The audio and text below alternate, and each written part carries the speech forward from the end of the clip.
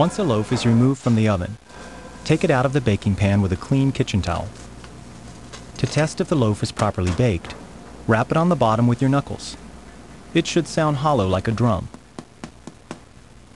If the loaf requires a slightly longer cooking time, return it to the oven without the pan and bake for a few more minutes.